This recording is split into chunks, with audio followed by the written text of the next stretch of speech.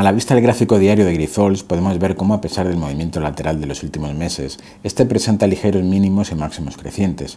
En términos de medio plazo, lo importante es que las caídas de este verano encajan a la perfección dentro de lo que sería un throwback de manual al nuevo soporte, ante resistencia, de los anteriores máximos históricos, la zona de los aproximadamente 22,30 euros.